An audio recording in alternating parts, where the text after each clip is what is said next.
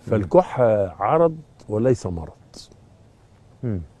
الكحة عرض وليس مرض. عيب قوي قوي قوي إن إحنا في سنة 2021 واللي يكح يروح يجيب دواء كحة من الأجزخان عيب جدا لأن هو هيضيع الكحة والكحة دي نعمة كبيرة جدا من ربنا. نعمة كبيرة جدا هتكلم عليها. بس للكحة أسباب عديدة فما نقدرش إن أنا أبقى كحة. طب هات دواء كحه يضيع الكحة. طيب عندي صداع. طب أنا عندي مليون دواء يضيع الصداع طب افرض ورم في المخ. راح العيان. عشان كده بحذر لعاشر مرة والمئة مرة ممنوع علاج الأعراض. عندي مغص. ما أخدش دواء مغص هيضيعه. هيضيع المغص. إلا الدكتور اللي يكتبه. أو مغص معتاد. ولو معتدل. ولو معتاد ولا أي حاجة. لا نعالج أعراض فالكحة عرض لها أسباب كثيرة جدا جدا تبدأ ب- بحالة نفسية وتنتهي بالسرطانات. فبص حضرتك بقى أولها إيه وأخرها إيه؟ مم. ومرا بالالتهاب الشعبي والالتهاب الرئوي والالتهاب البلوري ومية. وهبوط في القلب. أسباب. ده سؤال في بكالوريوس وحضرتك عارف أنت ساقط ثالثه ساقط مفيش فايدة مش هنجح. أنت ما شفتوش لسه. بس ما بس يعني دوب آه. دوب يعني. سؤال. عندي أمل لسه. اتكلم عن الكحة. الكحه بقى أنواع كتيرة جدا. منها كحة جافة. الناس كلها عارفاها. يفضل يكح وما يطلعش بقى. بيسموها بنسميها كحة جافة أو كحة ناشفة. ناشفة. آه.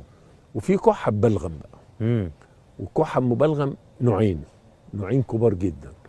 بلغم العين ما حسبوش. كل شوية يطلع كلينكس مم. وبلغم بقى كمية. دول أربع أمراض لوحدهم اللي هو البلغم الكتير قوي ده. مم. مثلا خراج الرئة. مم. خر... أهو ده بيكح بس. وعنده بلغم كمية كبيرة. ونعمل له الأبحاث يطلع خراج رئة. وجايز عايز جراحة. وبدأ بكحة خفيفة جدا جدا يعني. مم. في كحة تانية اللي هي الكحه الناشفه الكحه الناشفه تكون آه، حاجة مضايقة القصبة الهوائية مش الرئة مم. حاجة مضايقاها.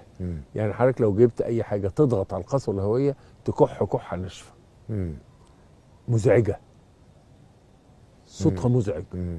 فظيع مم. له رنين عجيب يعني حضرتك تقدر تشخصه وأنت في الأوضة الثانية آه بيبان. الراجل ده ال- القصبة الهوائيه بتاعته مضغوطة. آه يقول لك ال- الحاج كحته وحشة. وحش رنينها وحش قوي.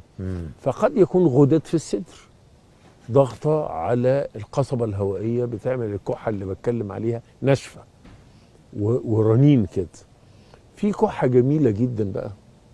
اسمها barking cough يعني إيه نباح مم. barking مش parking مش بال P. مم. بال B. barking اللي هو الكلب لما يهوهو. طب الكلب يهوهو إمتى؟ لو شاف ناس. مم. هو دي هستيريا. عنده كحة نفسية. لا تحدث إلا في وجود ناس سميعة. آه. يعني حضرتك تلاقي العيان هو بيضطرب اضطراب ما. آه. آه. يفضل فيعبر يكح عنه بالكحة. نفسية. آه. كحة نفسية. عايزة دكتور نفسي. مش عاي- محتاجة مالناش دعوة بيه. بس هم شخصها صح. دي اللي هي إيه بقى نوع, نوع من. أنواع الكحة الناشفة اللي آه من نوع من أنواع الكحة الناشفة الناشفة اللي هي من غير آه. آه ال- الكحة آه، قد تكون يعني في ناس كتير جدا تشتكي من كحة ب- زي الرغاوي. يطلع رغاوي من. بقه دي بتبقى غالبا هبوط في القلب هبوط في الجهه اليسرى للقلب. شوف حضرتك قلب وجاي العيان يقول أنا بكح اللي الدكتور بيقول أنا بكح. بكح يعني ما بيقولوش أي حاجة تانية. مم. لكن عادة مصحوب بنهجان شديد جدا ما يقدرش يطلع خمس ست سنين. آه في أعراض تانية. آه. ما يقدرش ينام عرض فلات. منها.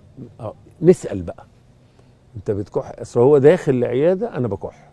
متضايق من الكحه آه. ساعات بقى يضلل الدكتور أنت. بتدخن؟ آه بدخن خلاص.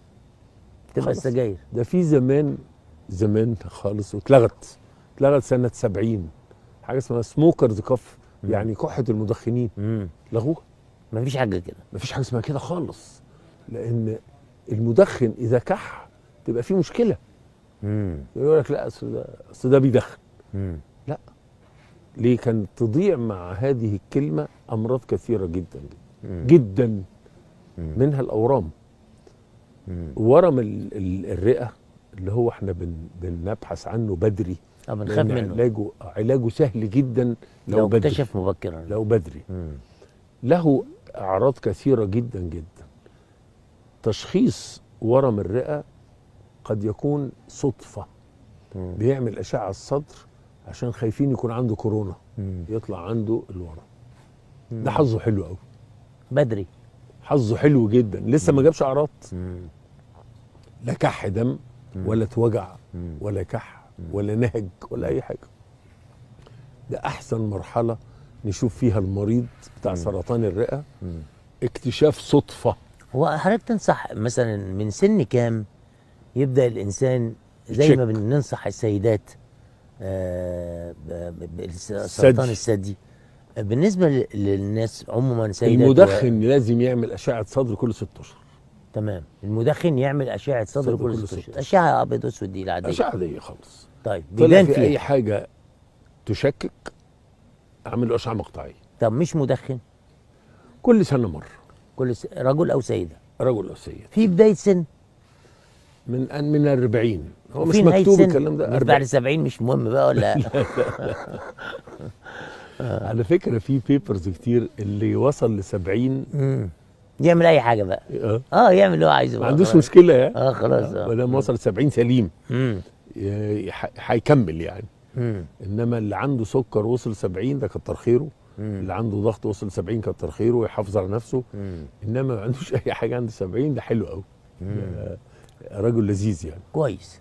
طب نرجع بقى إمتى الواحد يكح؟ ف آه، يعني يتعامل معاه بهدوء وإمتى لابد لما يكح فورا؟ إذا كح ورشف ريحه الدم جري على طول. على طول هو ده أول ما بيشوف الدم بين بينزل أو بالبيجامه أجل. ما هو اللي بيحرك آه. العيان يا أستاذ محمود في مصر مش هقول في العالم مم. اللي بيحرك العيان في مصر حاجتين مهمين جدا مم. الألم والدم مظبوط طبعا بس. طبعا بس يعني الانتفاخ بيجي لنا بعد سنه يعني تسأل واحد. أنت عندك انتفاخ ده دي يقول لك من خمس سنين. طب ما جيتش ليه من خمس سنين؟ آه صحيح. ما هو آه. بيتعالج بقى وقريبه بيقول له زميله آه. بيقول لا، له خد ما فيش فحم. عنده دكاترة كتير حواليه يعني. خد فحم و... آه آه. وهتبقى لذيذ. فوجود الكحة معاها بلغم معرق بدم. معرق. أو دم فرانك كده. ده على الدكتور ده جري. ده ما تمام آه.